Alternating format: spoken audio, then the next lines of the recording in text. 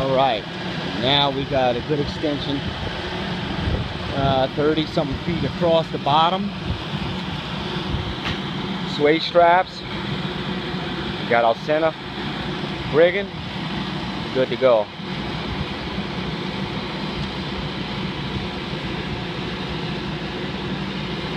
And they said my idea wouldn't work.